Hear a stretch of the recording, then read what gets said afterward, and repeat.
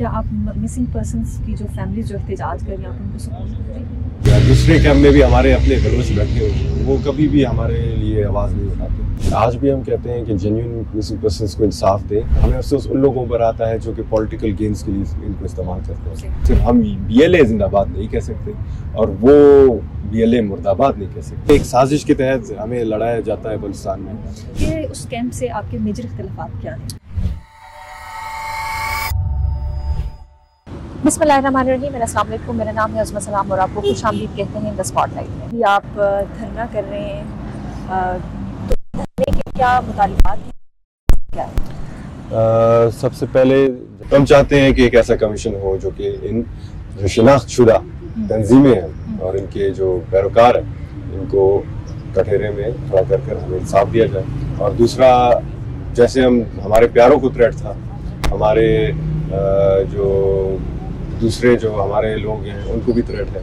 कुछ ऐसे फैमिलीज़ भी हैं जो यहाँ आना चाहते हैं, अपना इंतज़ार रिकॉर्ड करना चाहते हैं, लेकिन वो मजबूर हैं, वो डरते हैं। तो उनको भी सिक्योरिटी फराम की जाए। दूसरा जो हमारा पॉइंट है, वो है फ़िलहाल बहबूद के हवाले से। क्योंकि शहदा की कुर्बानियाँ तो हमारे सरों के ताज हैं, वो उनको हम बुला नहीं सकते। मैं खुद एक शहीद का बेटा हूँ तो जब मेरा वालिद मुझसे छीना गया था, मुझे कई मुश्किल का सामना हुआ जिसमें माली इमदाद है दूसरे फैसिलिटीज़ की जो कमी है वो तो हम चाहते हैं कि गवर्नमेंट कुछ ऐसा कुछ ऐसे इकदाम उठाए जिसमें हमारे शहदा के जो ग्रीवेंसेस हैं उनको एड्रेस करें बिलफर्स गवर्नमेंटल जॉब्स होते हैं निजी जॉब्स होते हैं उनमें शहदा कोटा होना चाहिए। जी एजुकेशन के हवाले से हमारे जो शहदा की जो फैमिलीज़ हैं चिल्ड्रन हैं उनको सपोर्ट किया जाए। और तीसरा हमारा मुतालबा ये है कि कि प्रोपोगेंडा किया जाता है हमारे खिलाफ हमारे शहदा के खिलाफ बहुत। आज भी यहाँ बैठे हैं जब से हमने कैंप लगाए हमारे खिलाफ सोशल मीडिया पे शायद आपने देखा होगा कि बहुत प्रोपोगेंडा किया जाता है। बिलखसूस मेरे खिलाफ कि मैं एक डेथ स्कॉड लीडर का बेटा हूँ। तो हम चाहते हैं कि सिर्फ़ मैं नहीं बल्कि पूरे शहदा के जो ख़ानदान है ठीक है मैं एक डेथ स्कॉट लीडर का बेटा हूँ तो वो रक्शे वाला जो कि शहीद हुआ वो तो किसी डेथ स्कॉट का मेंबर भी नहीं था।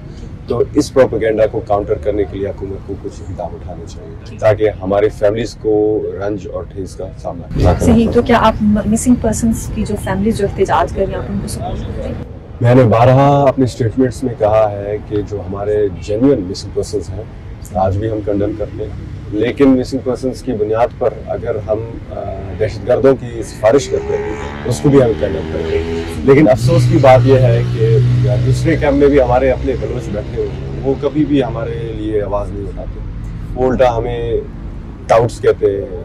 किस चीज़ के टाउट्स किस के टाउट्स किस चीज़ का डेस्क स्कॉड तो ये लेबलिंग करना, हमने आज तक उनके खिलाफ कोई बात नहीं की। हमने आज भी कहा है, आज भी मैं ऑन कैमरा करूँ जेन्यून मिसिंग पर्सन की कंडम करते हैं। पाकिस्तान हमारा मुल्क है। हमें शहीद करते हैं पाकिस्तानी की बुनियाद पर करते हैं। तो हमें चाहिए कि इकदाम उठाएँ पाकिस्तान को बेहतर करने के लिए अपने सूबे को बेहतर करने आपने वर्ड यूज़ किया जेन्युइन मिसिंग पर्सन तो क्या आप क्लियर डिफाइन करते हैं कि कुछ जेन्युइन मिसिंग पर्सन हैं और कुछ आ, जी जी। आज भी हम कहते हैं कि जेन्यून मिसिंग पर्सन को इंसाफ दें, लेकिन दूसरी तरफ़ दूसरी आर्गूमेंट ये है कि कुछ ऐसे भी लोग हैं जो कि अपनी मर्ज़ी पर मुल्क छोड़ते हैं। ठीक है ना जी? जाकिर मजीद एक ऐसा बंदा है जो कि बलुस्तान का बच्चा बच्चा वाकिफ है। उसकी वालदा ने एफिडेविट पे हाई कोर्ट बलुस्तान में कहा है कि मेरा बेटा बाहर बैठ के मुझे महाना तीस हज़ार रुपये भेजता है। तो ये ऑन द रिकॉर्ड है। तो इसी तरीके के कई और लोग भी हैं जो कि बाज़ार मिसिंग है लेकिन खुद अपने कंसर्न पर बाहर गए हैं। और हम ये नहीं कहते कि मिसिंग पर्सन की जो फैमिलीज़ हैं उनके इमोशंस जेन्यून नहीं हैं। हमारे लिए वो भी काबिल एहतराम है। हमारे लिए वो भी जन उनके इमोशंस भी जेन्यून है। लेकिन जो लोग हमें अफसोस उन लोगों पर आता है जो कि पॉलिटिकल गेम्स के लिए इनको इस्तेमाल करते हैं। बलुस्तान में सारे कहते हैं कि भाई मिसिंग पर्सन मिसिंग पर्सन सियासी कैंपेन्स अपने इस हवाले से करते हैं। लेकिन आज तक आपने नहीं देखा वो सियासतदान आज भी अपने इलेक्शन कैंपेन में लगे हुए हैं और इनको इधर छोड़ा है। मैं तो अपने अगर शहीदों में बिलीव करता हूँ, अपने एक कॉज में बिलीव करता हूँ, मैं अपना सियासी जो पॉलिटिकल कैंपेन है, उसको छोड़ के आया। क्योंकि मुझे ये लगता है कि ये इशू मेरे सियासी पॉलिटिकल कैंपेन से ज़्यादा बढ़कर मेरे लिए माने रखता है। सर, हम ये देखते हैं कि आपके बिल्कुल साथ में ही और कैंप लगा है और वो भी बलोची कैंप ही है। तो क्या आप दोनों को क्योंकि एक तरफ़ मिसिंग केस मिसिंग केसेस का मिसिंग पर्सन का केस है और दूसरी तरफ़ शहीदों का तो क्या आप एक पेज पे नहीं आ सकते? एक पेज पर हम आ सकते हैं। देखिए जी दो एक्टर्स हैं ना। दो कॉन्फ्लिक्टिंग पार्टीज़ आप कह लें एक्टर्स हैं उनको कॉम्प्रोमाइज़ करना पड़ेगा। आज हमारी तरफ़ से ये कॉम्प्रोमाइज़ हो रहा है कि हमने जेन्यून मिसिंग पर्सन को कंडेम करते हैं। उनसे आप जाके पूछ लें कि वो शहीद जितने भी हैं हमारे, किसी भी कौम से ताल्लुक, किसी भी ज़बान से उनका ताल्लुक हो, जो तंजीम उनको शहीद करता है, उनकी शहादत पर मजम्मत करते हैं। और फिर दूसरे सवाल आप उनसे ये पूछें कि ठीक है, पाकिस्तान का फौज, पाकिस्तान की एजेंसीज जो है, गलत है हमारा हमारी भी उनसे ग्रेवेंसेज है, लेकिन इसमें पाकिस्तान का कोई गलती नहीं है। हम उनको कतन सपोर्ट नहीं करेंगे जो कि पाकिस्तान से बलुस्तान को तोड़ना चाहते हैं। हम उनके सामने पहले भी खड़े थे क्योंकि क्यों हमें तोड़? रहे ठीक है ना जी? बलुस्तान भी हमारा है पाकिस्तान भी हमारा है। तो उनसे आप जाके पूछे कि वो क्या कॉमन ग्राउंड में कॉम्प्रोमाइज करना चाहते हैं कर सकते हैं या नहीं? तो उनसे जब मेरी ये बात हुई तो उन्होंने कहा हम एंटी स्टेट नहीं है। अगर हम एंटी स्टेट होते हैं तो हम यहाँ पे आके उनसे मुतालबात ना कर। नहीं ठीक है एंटी स्टेट नहीं है। पाकिस्तान जिंदाबाद वो कह लें आज भी कह लें हम खड़े हम तो बलुस्तान जिंदाबाद भी कहते हैं पाकिस्तान जिंदाबाद भी कहते हैं सिर्फ़ हम बी एल ए जिंदाबाद नहीं कह सकते और वो बी एल ए मुर्दाबाद नहीं कह सकते। कंडीशन कर देते हैं नहीं तो उनसे पूछिए इनसे सिर्फ़ आप ये पूछिए कि बी एल ए है क्या चीज़? बी एल ए की बुनियाद क्या है? बी एल ए जैसे सिर्फ़ बी एल ए का नहीं कह रहा बाकी जो शिद्दत पसंद तंजीम है वो है क्या? क्या वो हमारे अपनों को कॉमन बलोच को साजिश के तहत दूसरे अकवामों के खिलाफ इस्तेमाल नहीं कर रहे। ठीक है जिसमें पंजाबी भी है आपका पश्तून भी है। तो उनसे सिर्फ़ ये कंडम का भी ना पूछे सिर्फ़ ये पूछे what is the definition of B L A B L A से मुराद क्या है? कौन सा ऑर्गेनाइजेशन सही। सर आपके उन, उनके उस कैंप से आपके मेजर इख्तलाफात क्या हैं? हमारा उनसे कोई इख्तलाफात नहीं है उनका बिल हमारे साथ इख्तलाफात है। हम इधर यहाँ आए हैं तो उन्होंने वीडियो पैगाम जारी किया है और हमें गालियाँ भी पड़ रही है सोशल मीडिया पर। तो इख्तलाफात हमारा नहीं है सिर्फ़ हमारा पॉइंट ये है कि बलुस्तान में अगर कोई इशू होता है दोनों पहलू को दिखा जाए। ठीक है ना जी? शहीदों का फैमिलीज़ भी है मिसिंग पर्सन भी है। लेकिन मिसिंग पर्सन की बुनियाद पर जो टेररिस्ट है उनको प्रमोट नहीं किया जाए। हमारा मुतालबा सिर्फ़ हमारा जो पॉइंट है ये है। तो आप ये कहना ये चाह रहे हैं कि they support the terrorist organisations not all not all but some of them they support terrorist organisations सही। और they they have a soft corner for them ठीक है ना?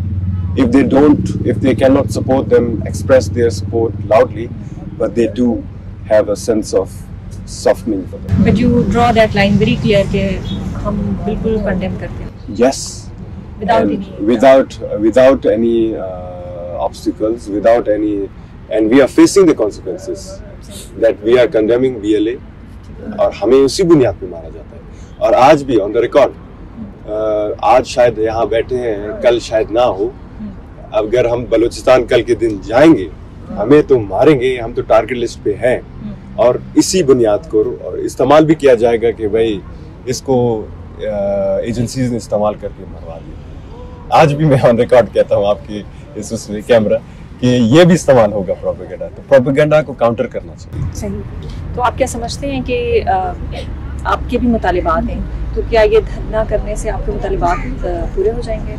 या क्या ये सही हल उम्मीद उम्मीद तो है क्योंकि ये जो धरने में बैठना ये हमारा जो डेमोक्रेटिक राइट है।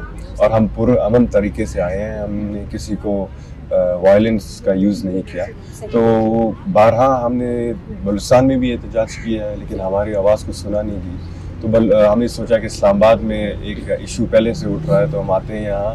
हमारी भी सुनी जाएगी और उम्मीद करते हैं कल हमने चार्टर और डिमांड भी पेश किया था। उम्मीद करते हैं। अभी तक तो कोई हुकूमती नुमाइंदा नहीं हुआ नहीं आए तो हम उम्मीद करते हैं कि वो आएगा आएँगे और हमें सुनेंगे और इस पे पेशरफ शुरू होगी कोई पार्लियामेंट एक आई थिंक एक अच्छा प्लेटफॉर्म होता है जब आप कोई भी डिमांड रखते हो। आप निगरान वज़ीर भी रह चुके हैं तो वहाँ अगर आपकी बात नहीं सुनी गई तो आप कैसे इस, इस सारी चीज़ को कैसे देखते हैं कि आप एक, एक वो एक मेरा ख्याल है कि शायद एक सबसे आला प्लेटफॉर्म वही है कि जहाँ पे आप अपनी बात डेमोक्रेटिकली आप बात कर सकते हो डायलॉग कर सकते हो। तो आप वहाँ से मायूस होकर आए बिल्कुल इसमें कोई शक नहीं है कि जब मैं वज़ीर था, कैबिनेट मीटिंग्स, क्योंकि निगरान में कोई असम्बलियाँ नहीं होती है। होती है तो सिर्फ़ कैबिनेट मीटिंग्स होती है। तो कैबिनेट मीटिंग्स में मैंने बारह अपने शहदा के लिए कहा कि एक कोटा आप करें। और मेरा जो डिपार्टमेंट था, स्पोर्ट्स, यूथ और कल्चर का हमने तो पूरी कोशिश की कि अपॉर्चुनिटीज़ हम क्रिएट करें, क्योंकि निगरान हुकूमत है, हम मेजर डिसीजंस उठा नहीं सकते थे। तो मैं बिल्कुल मायूस होके मैंने धरना में बैठा हूँ और निगरान के हाथ में इतना कुछ नहीं होता। वो एक फाउंडेशन बारह रख सकते हैं जो कि इलेक्टेड गवर्नमेंट होता है, उस पर पेशरफ अभी आप N A two sixty four से आप आपने कागजात नामजदगी जमा कराए हैं। तो क्या आप अपने मंशूर में शहदा के लिए आप बिल्कुल ये चीज़ रखेंगे डिमांड्स रखेंगे? हाँ बिल्कुल बिल्कुल बिल्कुल बिल्कुल। मैं तो अपने आप को शहदा का वारिस कहता हूँ। क्योंकि 2018 में जब मेरे वालिद के ऊपर धमाका हुआ कुछ जो बच्चे थे उसमें छोटे छोटे उनका जो अखराज है माली और एजुकेशन वो मैं अपने ऊपर बर्दाश्त करता हूँ। तो मैं चाहता हूँ कि गवर्नमेंट को भी ऐसे इकदाम उठाने चाहिए। और शायद शहदा की आवाज़ उठाने से मेरे जो पॉलिटिक्स है उसको भी नुकसान पड़े। क्योंकि इस टाइम जब ये धरना का मैंने फैसला किया मुझे पता था कि इसमें मुझे पॉलिटिकल डिसएडवांटेज होगी। लेकिन फिर भी मैंने कहा कि अपने किसी ना किसी को तो उठाना पड़ेगा ये किसी ना किसी को तो फेस करना पड़ेगा कॉन्सिक्वेंसेज तो एंगर भी फेस करना पड़ रहा है मुझे हेट्रेड भी फेस करना पड़ रहा है. और ऊपर से जो मैंने कैंपेन छोड़कर यहाँ आया हूँ और शायद इसी बुनियाद पर आ, कुछ जो मिसिंग पर्सनस की बुनियाद पर जो पॉलिटिकल गेंस के लिए वो काम करते हैं उन्होंने आ, कुछ कोशिशें की हैं कि मुझे इलेक्शन से भी दूर क्या आपको पार्टी सपोर्ट कर रही है इस धरने के लिए? देखिए जी, यहाँ मैं एक पार्टी के हैं पीपल्स पार्टी का से जो मेरा ताल्लुक है, मैं उस बुनियाद पर यहाँ नहीं आया हूँ। किसी एक, बल्कि एक नौजवान की हैसियत से और उससे बढ़कर एक शहीद का जो ख़ानदान है, उसके उससे ताल्लुक़ है मेरा। तो जहाँ यहाँ हम सारे बैठे हुए हैं हमारा एक ही ताल्लुक़ है वो ये है कि हमारे प्यारों को शहीद किया गया है। और ये जो रिलेशनशिप हम शेयर करते हैं ये इन ताका क्या मतलब आपने बेनस पे सिर्फ़ शहदा का जो है वो लफ्ज़ इस्तेमाल किया तो क्या आप मिसिंग पर्सन का करेंगे? क्या आप सपोर्ट करते हो जब अल्लाह ने चाह क्या अब पार्लिमान की बात कर रहे हैं अभी भी मैं कह रही हूँ अभी भी सिर्फ़ आपने सिर्फ़ शहदा का जो है ना नहीं नहीं मैंने पहले भी आपको कहा कि जेन्यून मिसिंग पर्सन को हम अभी भी कंडेम करते हैं। आप उनसे पूछें कि वो जो लोग हमारे शहीद हुए हैं उनको कंडेम करते हैं या नहीं करते और तंजीमों को उनका क्या चर्चा है क्या हाल हवाल है?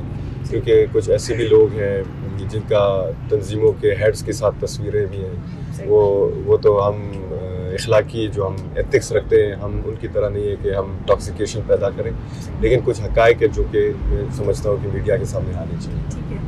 आ, मेरा ख्याल है कि एक शायद बड़ी एक कॉम्प्लेक्स सिचुएशन क्रिएट हो जाती है जब दो बलूचिस्तान से सेम एरिया से दो कैंप आते हैं। तो एक आम जो पब्लिक है वो ये समझने से कासिर है कि हम कौन सही है या कौन गलत है। या सही गलत को तो साइड पे हम रख लेते हैं सच क्या है और प्रोपेगेंडा क्या है? तो आप इस प्रोपेगेंडा को या जो सच है उसको कैसे आप एक्सप्लेन करेंगे? एक आम पब्लिक के लिए। देखिए जी आ, हमारे इमोशंस और उनके इमोशंस आपके सामने हैं। हम यहाँ आए हमारे ऊपर क्यों तनकीद किया जाता है? अगर एक चीज़ झूठ है तो फिर आप अपने एजेंडा को छोड़कर क्योंकि पिछ हमें अभी चार पाँच दिन हो रहे हैं और वो अपना जो इनका कॉस्ट था मिसिंग पर्सन का उन्होंने छोड़कर हमारे ऊपर तनकीद शुरू की है।